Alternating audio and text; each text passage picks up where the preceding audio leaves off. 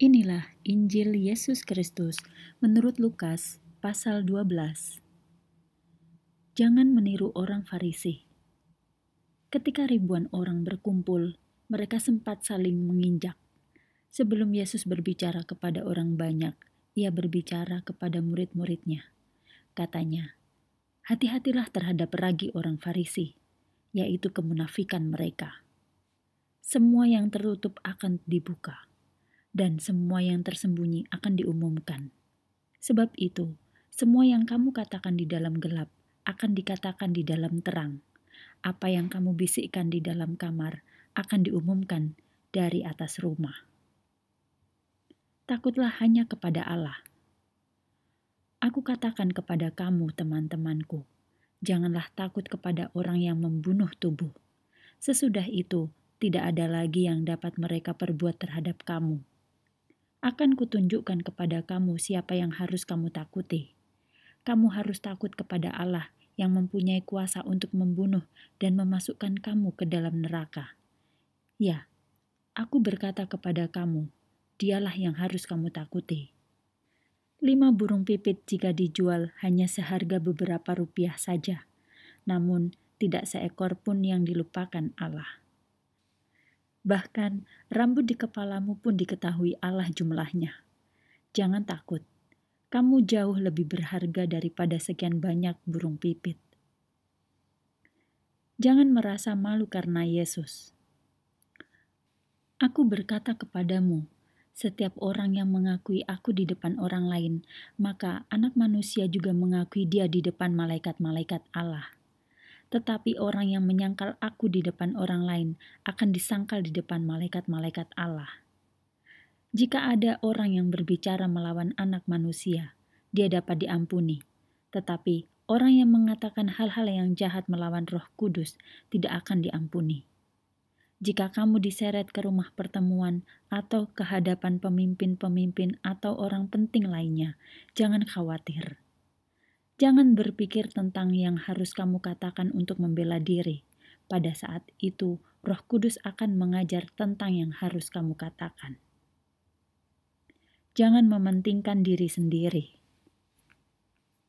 Seorang di antara orang banyak itu berkata kepada Yesus, "Guru, katakanlah kepada saudaraku untuk membagi warisan dengan aku."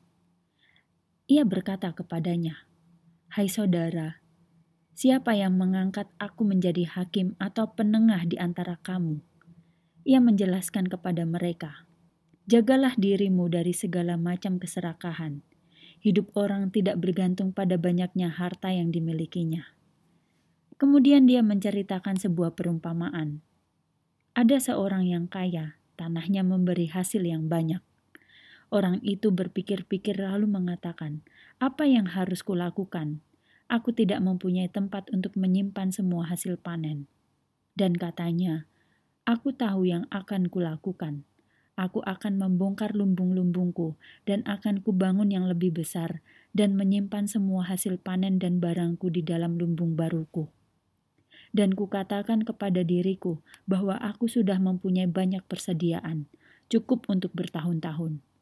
Tenanglah, makan, minum, dan bersenang-senanglah Allah berkata kepada orang itu, "Orang bodoh, malam ini juga engkau akan mati.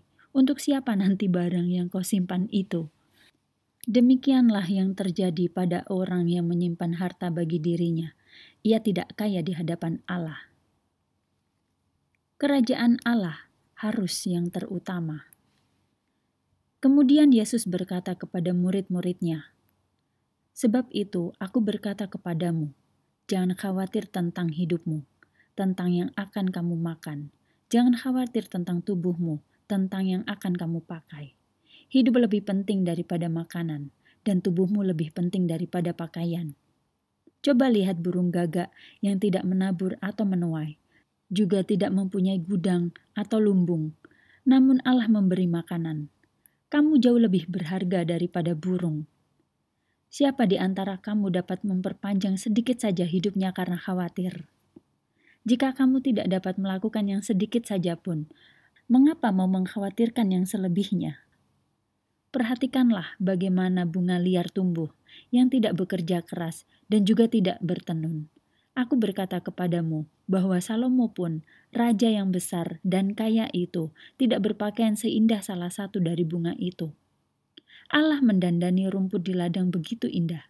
Padahal rumput itu hanya indah sehari saja, lalu besoknya akan dibuang ke dalam api.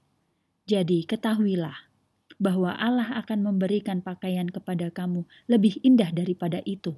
Janganlah terlalu kecil imanmu. Jangan pikirkan tentang yang akan kamu makan atau minum. Jangan cemaskan hal-hal itu. Semua bangsa yang tidak beriman mengejar hal-hal itu, tetapi Bapamu tahu bahwa kamu memerlukan semuanya itu. Carilah dulu kerajaan Allah, dan semua yang lain yang kamu butuhkan akan diberikan kepadamu. Jangan percaya pada uang. Jangan takut hai kawanan domba yang kecil Bapamu dengan senang hati telah memberi kerajaannya kepadamu.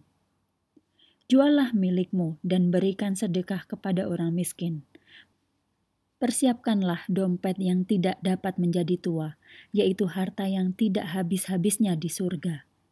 Pencuri tidak dapat mencurinya, dan ngengat tidak dapat memakannya. Di mana hartamu berada, di sanalah juga hatimu berada. Bersiap-siaplah selalu siap sedialah, haruslah lampu-lampumu tetap menyala. Jadilah seperti hamba-hamba yang sedang menunggu tuannya kembali dari pesta pernikahan. Bila ia pulang dan mengetuk pintu, mereka segera membuka pintu baginya. Betapa bahagianya hamba-hamba seperti itu. Tuan mereka akan mendapati mereka bangun dan siap apabila ia datang. Yakinlah, Tuan itu akan mengikat pinggangnya untuk melayani ia akan menyuruh hamba-hambanya duduk di meja makan dan ia akan melayani mereka. Bila ia mendapati mereka siap sedia seperti itu, entah jam berapapun dia datang, mereka pasti sangat berbahagia. Ketahuilah, jika tuan rumah tahu jam berapa pencuri datang, dia tidak membiarkan pencuri masuk ke rumah. Kamu juga harus bersiap-siap sebab anak manusia akan datang pada saat yang kamu tidak duga siapa hamba yang bisa dipercaya? Petrus bertanya, Tuhan, apakah engkau menceritakan perumpamaan ini hanya kepada kami atau kepada semua orang? Tuhan mengatakan, Siapakah hamba yang setia dan bijaksana? Dialah yang akan diangkat oleh tuannya untuk mengurus rumah tangganya, memberi makan hamba-hamba yang lain pada waktunya. Betapa bahagianya hamba yang didapati tuannya ketika melakukan yang demikian waktu ia pulang. Aku berkata kepadamu, Tuhan itu akan membuat dia mengurus semua miliknya. Apa yang akan terjadi bila hamba itu jahat dan berkata dalam hatinya bahwa tuannya masih lama lagi baru pulang? Hamba itu mulai memukul hamba-hamba yang lain, laki-laki maupun perempuan. Dia makan dan minum-minum sampai mabuk Tiba-tiba tuannya pulang pada waktu yang tidak diketahui dan tidak diduganya. Ia akan dihukum berat dan ditempatkan senasib dengan orang yang tidak setia. Hamba yang mengetahui kehendak tuannya dan tidak bersiap-siap, atau hamba itu tidak mengikuti kemauan tuannya, akan dipukul berkali-kali. Seandainya hamba itu tidak tahu kemauan tuannya dan dia melakukan sesuatu sampai ia dihukum, ia akan mendapat hukuman yang ringan. Kepada orang yang diberi banyak, akan mempertanggungjawabkan lebih banyak, dan kepada siapa yang banyak dipercayakan akan dituntut lebih banyak lagi dari dia. Berselisih paham karena Yesus. Aku datang untuk menyalakan api di dunia ini. Aku ingin api itu sudah menyala. Aku harus mengalami baptisan yang lain. Aku merasa susah sampai hal itu terlaksana. Apakah kamu menyangka bahwa aku datang membawa damai ke dunia ini? Tidak, aku datang membuat pertentangan dunia. Mulai sekarang, jika ada lima orang dalam suatu keluarga, mereka akan bertentangan. Tiga orang akan melawan dua orang, dan dua orang akan melawan tiga orang. Ayah dan anak laki-laki akan saling bertentangan. Anak laki-laki akan melawan ayahnya. Ayah akan melawan anaknya laki-laki. Ibu dan putrinya akan saling bertentangan. Anak perempuan akan melawan ibunya ibu akan melawan putrinya. Ibu dan menantunya perempuan akan saling bertentangan. Menantu perempuan akan melawan ibu mertuanya. Ibu mertua akan melawan menantunya perempuan.